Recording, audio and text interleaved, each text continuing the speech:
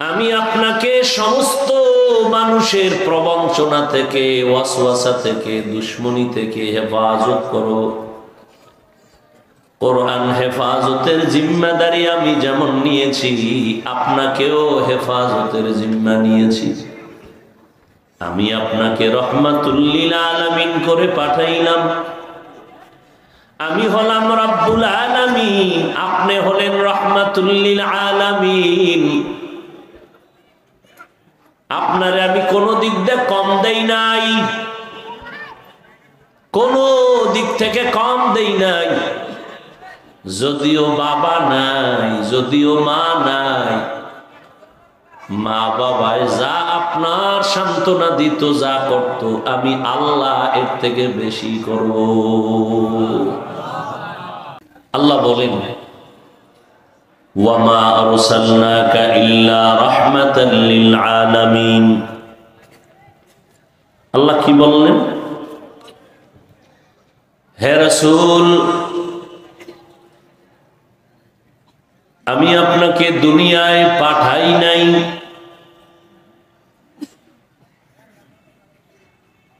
হ্যাঁ পাঠিয়েছি। জগৎ সমূহের রহমত হিসেবে।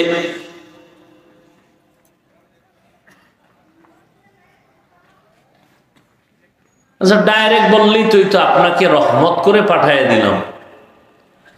প্রথমে নেতিবাচক বললেন, আপনাকে পাঠাই নাই। আবার নবী বলেন হ্যাঁ পাঠিয়েছি জগৎ সমূহের রহমত হিসেবে। ঘুরাইয়া বললেন, কেন? ফেলুল হাকিম আনিল হিকমা। হাকিমের কোনো কাজ বা কথা হেকমত থেকে খালি না।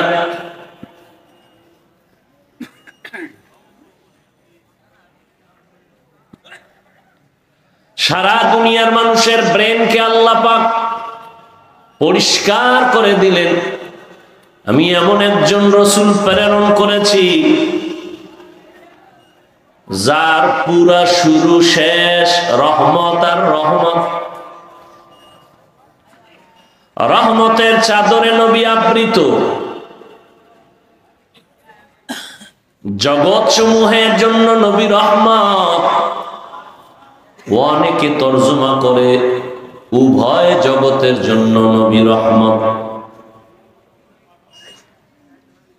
উভয় জগৎ মানে দুনিয়ার জগৎ আর আখেরাতের জগৎ, পরকাল জগৎ।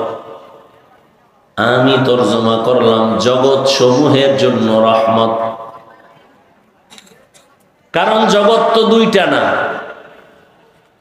রুহের একটা জগৎ আলাদা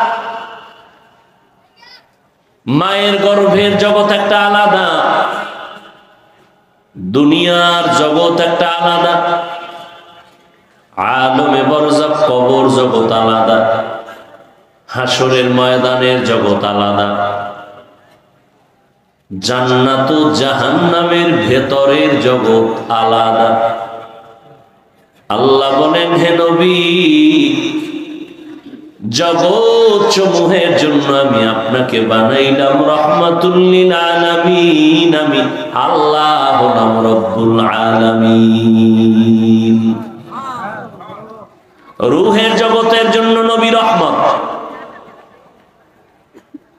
মায়ের গর্ভের জগতের জন্য নবী রহমত। দুনিয়ার জগতের জন্য নবী রহমত। কবর জগতের জন্য নবী আমার রহমত। হাসরের ময়দানের জন্য নবী আমার আলাদা রহমত। জান্নাত ও জাহান্নামের জগতের জন্য আমার নবী আলাদা রহমত।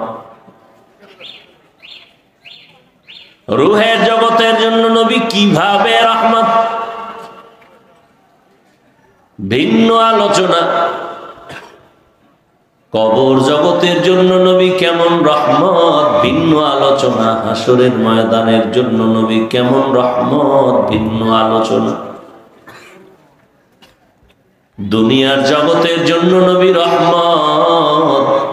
এই বিষয়ে কিছু আলোচনা শুনায় গেলাম, যাইতেছি। রহমতের নবীকে আমার আল্লাহ এমন এক জমিনের মধ্যে পাঠাইলেন যেই জমিনের মানুষ তদানীন্তন সময় ছিল চূড়ান্ত চরিত্রহীন, খারাপ। ওই জমিনের নাম মক্কা নগরী।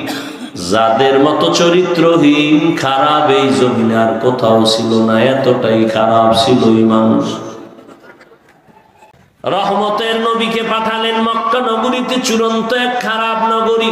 খারাপ চরিত্র মানুষ।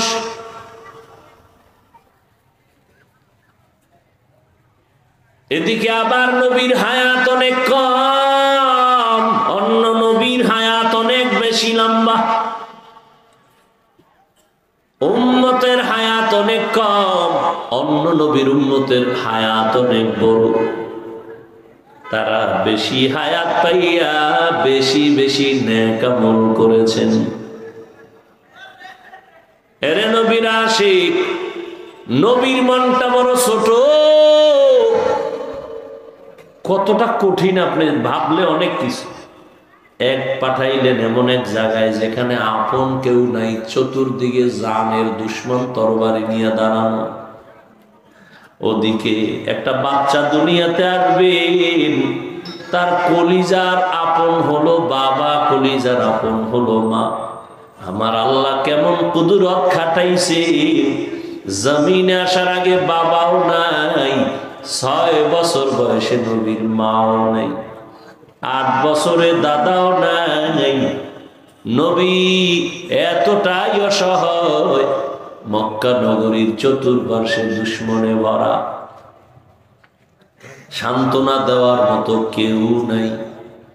সব দুশ্মন, ঘরে বাইরে দুশ্মনে ভরা। আল্লাহ বলেন নবী, মন খারাপ করবেন না।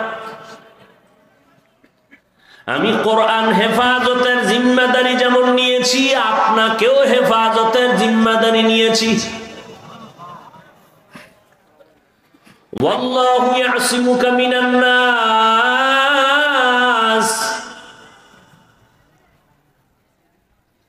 আমি আপনাকে সমস্ত মানুষের প্রবঞ্চনা থেকে, ওয়াসওয়াসা থেকে, দুশ্মনী থেকে হেফাজত করো কোরআন হেফাজতের জিম্মাদারি আমি যেমন নিয়েছি, আপনাকেও হেফাজতের জিম্মা নিয়েছি। আমি আপনাকে রহমাতুল্লিল আলামিন করে পাঠাইলাম। আমি হলাম রব্বুল আলামিন, আপনি হলেন রহমাতুল্লিল আলামিন। আপনারে আমি কোনো দিক দিয়ে কম দেই নাই। কোন দিক থেকে কম দেই নাই। যদিও বাবা নাই, যদিও মা নাই, মা বাবায় যা আপনার সান্ত্বনা দিত, যা করত, আমি আল্লাহ এর থেকে বেশি করব।